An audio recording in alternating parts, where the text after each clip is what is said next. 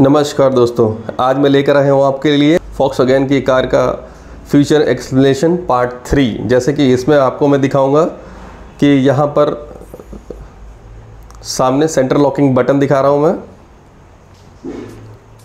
ये देखिए लॉकिंग के लिए, उसके बाद अनलॉकिंग के लिए।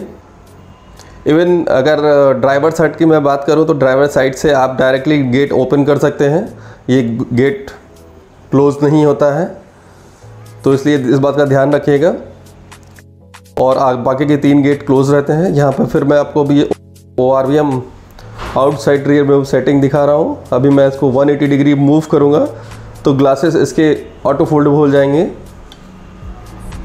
जो जॉयस्टिक अपने हाथ से देख देख, मेरे हाथ पर ध्यान दीजिएगा। जॉयस्टिक देखिए 180 डिग्री मैं मूव करूँगा। तो ये, देखिए, ये बंद हो गया ग्लास फिर मैं 180 डिग्री इसको मूव कर दूँगा तो ये ओपन हो जाएगा। तो इस तरीके से आप जॉयस्टिक एडजस्ट कर सकते हैं। राइट के लिए आपको थोड़ा सा राइट टिल करना पड़ेगा और लेफ़्ट के लिए लेफ़्ट में टिल करना पड़ेगा। तो इससे आपको मिरर इलेक्ट्रॉनिक एडजस्ट कर सकते हैं।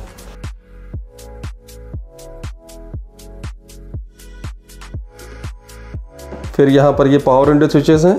रियर के यहाँ पर ये चाइल्ड लॉक दिया हुआ है। रियर पावर विंडो अगर आप लॉक करना चाहें तो ये चाइल्ड लॉक स्विच यूज़ कर सकते हैं। आपके पीछे के दोनों पावर विंडोज़ लॉक हो जाएँगे। बच्चे बार बार उसको यूज़ नहीं कर पाएँगे। शरारत करते हैं जो बच्चे, जिससे उनका हाथ दब जाने के चांसेस रहते हैं, चोट लग जाने के चांसेस रहते हैं। देखिए, मैं अभी आपको करके भी दिखा देता हूँ।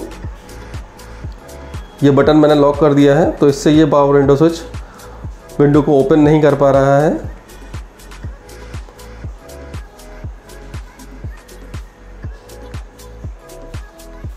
ये देखिए विंडो लॉक है। और यहाँ पर सामने दिया हुआ है हेडलाइट गाड़ी की हेडलाइट ऑन करने का स्विच ये ज़ीरो पर है, अभी लाइट ऑफ़ है, फिर मैं इसको ऑटो मोड पे लगा दूँगा। तो इसमें रेन सेंसर और लाइट सेंसर दोनों ही एक्टिवेट हो जाते हैं। जैसे ही अंधेरा होगा लाइट्स ऑन हो जाएँगी या किसी टनल वगैरह से गुजरेंगे, तब भी लाइट्स ऑटोमेटिक ऑन हो जाएँगी। और रेन डिपेंडेंसी के अकॉर्डिंगली इसका वाइपर ऑपरेट होने लगेगा। यहाँ पर ये एल्यूमिनेशन लाइट है देन ये हाई बीम लाइट है इसको जब ऑन करेंगे, तभी आप स्विच के थ्रू हाई बीम ऑन कर सकते हैं। ये देखिए, मैंने एल्यूमिनेशन लाइट जला दी है। एक बार मैं आपको नज़दीक से दिखा देता हूँ। ये देखिए एल्यूमिनेशन लाइट है। इससे रियर इन्फिनिटी टेल लाइट वो भी जल जाएगी एंड डी भी एक्टिवेट हो जाएँगे। ये देखिए फॉक लाइट मैंने एक्टिवेट कर दिया है। इसको पुल करके, इस स्विच को पुल करके आप फॉक लाइट एक्टिवेट कर सकते हैं। और इसको अगर पुश करके बंद करेंगे तो फॉक लाइट बंद हो जाएगी। और यहाँ से आप देखेंगे फॉक लाइट और हाई बीम, दोनों ही एक्टिवेट हो चुके हैं। अब अगर आप जो डिपर यूज़ करते हैं लेफ़्ट हैंड साइड पर, मैं दिखा देता हूँ एक बार, ये देखिएगा। यहाँ पर ये डिपर दिया हुआ है, अपर डिपर दिया हुआ है, हाई बीम, लो बीम के लिए। ये देखिए, हाई बीम मैं आपको दिखा रहा हूँ, ब्लू कलर की जल रही है इंस्ट्रूमेंट क्लस्टर पर। ये देखिए, ब्लू कलर की हाई बीम जल रही है। ये आपके लेफ़्ट हैंड पर जो ऑपरेटिंग सिस्टम है, लाइट्स का, यहाँ से जलती हैं। ऊपर की तरफ़ इसी लीवर को ऊपर की तरफ़ कर देंगे तो राइट हैंड का इंडिकेटर ऑपरेट होने लगेगा और इसको अगर नीचे की तरफ़ कर देंगे तो लेफ़्ट हैंड का इंडिकेटर ऑपरेट होने लगेगा। अब ये देखिए हाई बीम और लो बीम का फ़ंक्शन ही मैं दिखा रहा हूँ। ये नीचे की तरफ़ मैंने किया है हाई बीम एक्टिवेट हो गया है। ऊपर की तरफ़ मैं करूँगा, ये देखिए, ये भी हाई बीम है, ये देखिए लो बीम एक्टिवेट हो गया है। अभी ये हाई बीम एक्टिवेट हो गया है।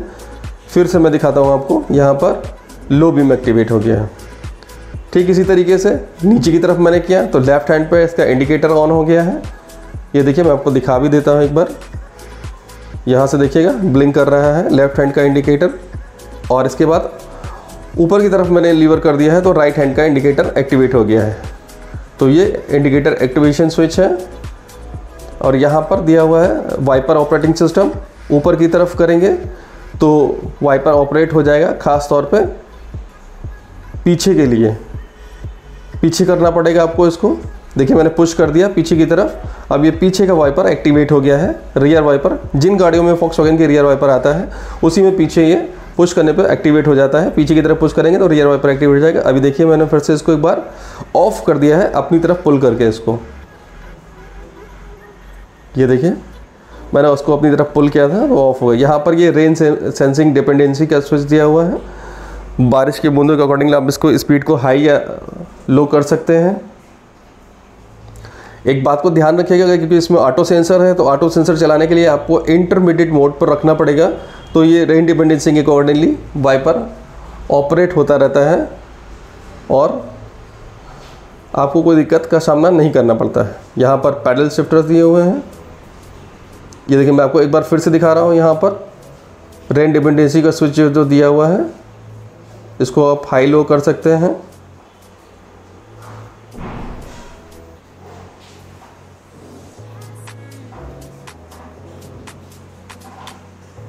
इससे क्या है कि वाइपर की स्पीड कम एंड ज़्यादा रेन डिपेंडेंसी के अकॉर्डिंग होती है।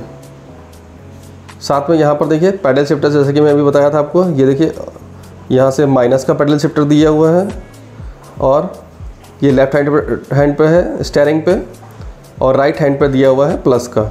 अभी मैं दिखा देता हूँ, ये देखिए ऑफ़ का बटन दिया हुआ है। चूँकि आप मैनुअली जब इसको लगाते हैं, पैडल शिफ्टर को यूज़ करते हैं मैनुअल मोड में ऑटोमेटिक गियर बॉक्स को तो उस केस में पैडल शिफ्टर यूज़ होते हैं। आपको गियर बढ़ाने के लिए आपको ये प्लस का बटन दबाना होगा और गियर घटाने के लिए माइनस का बटन दबाना होगा। हालाँकि ऑटोमेटिक ड्रिवन गाड़ी में गियर, ये गाड़ी ऑटोमेटिकली गियर डाउन कर देती है, बट गियर बढ़ाने के लिए आपको, आगे लाने के लिए आपको पैडल शिफ्टर का यूज़ करना पड़ेगा। अगर आप गियर के थ्रू, ऑटोमेटिक गियर के थ्रू इसको मैनुअल मोड में लाते हैं तो फिर आपको मैनुअल मोड के थ्रू भी आप इसको गियर के थ्रू भी प्लस और माइनस कर सकते हैं। ये रिवर्स पार्किंग कैमरा में दिखा रहा था आपको। ये देखिए पुश स्टार्ट स्टॉप बटन है इसमें। अभी मैंने पुश स्टार्ट बटन दबाया हुआ है। और ये ऑफ़ हो गया।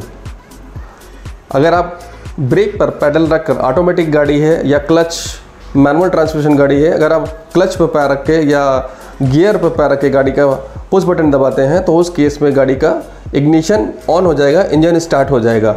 अदरवाइज़ अगर आप क्लच का यूज़ नहीं करते हैं या ऑटोमेटिक गियर बॉक्स गाड़ी में ब्रेक पर पैडल रखकर गाड़ी को स्टार्ट नहीं करते हैं तो उस केस में इग्निशन इंजन स्टार्ट नहीं करता है। तो नॉर्मल इग्निशन ऑन हो जाता है, जिससे कि blower music system electronic equipments illumination on हो जाता है। वो आप ऑपरेट कर सकते हैं ईजिली लेकिन प्रॉपर अगर गाड़ी आपको स्टार्ट करना होगा तो क्लच दबा करके या ऑटोमेटिक गाड़ी है तो ब्रेक को प्रेस करके आप पुश स्टार्ट बटन दबाएँगे, तभी गाड़ी स्टार्ट होगी। अभी मैं यहाँ पर ऑटो डिमिंग आई फ़ंक्शन दिखा रहा हूँ। देखिए यहाँ पर, जैसे कि लाइट मैंने अभी मैं प्रैक्टिकली आपको करके दिखा देता हूँ कैसे ये ऑपरेट होता है। नाइट डिमिंग में आपको एक पोजीशन पर सेट करना होता है इसको। बार बार आपको इसको अप एंड डाउन नहीं करना होता है। ऑटो डिमिंग आई को। अभी मैंने देखिए सेंसर के पास में अपना हाथ लगा दिया है, उंगलियाँ लगा दी हैं। तो ये देखिए एंटी ग्लेयर लाइट जो है एंटी ग्लेयर एक्टिवेट हो गया है। अभी ये देखिए पूरा ब्लैक ग्लास आपको नज़र आ रहा होगा। मिरर ये। इसका रिफ्लेक्शन मेरी आँखों पे अगर पीछे कोई गाड़ी होगी, उसकी हेडलाइट की, गाड़ी की लाइट वो मेरी आँखों में नहीं पड़ेगी जस्ट बिकॉज़ ऑफ़ ये सिस्टम ये फ़ंक्शन अभी सेंसर में आप आ, सेंसर से इसका अपना हाथ हटा ले रहा हूँ। देखिएगा ये ग्लास जिस कलर का था वैसे ही ये फिर हो जाएगा।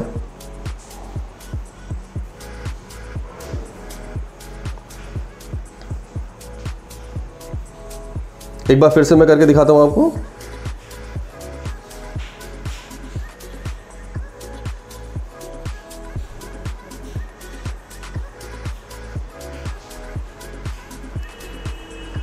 ये देखिए, एक बार यहाँ पर मैंने अपना हाथ हटाया, जैसे ही ग्लास, जो ब्लैक शेड लिए हुआ था, वो पूरा पूरा क्लीन हो गया।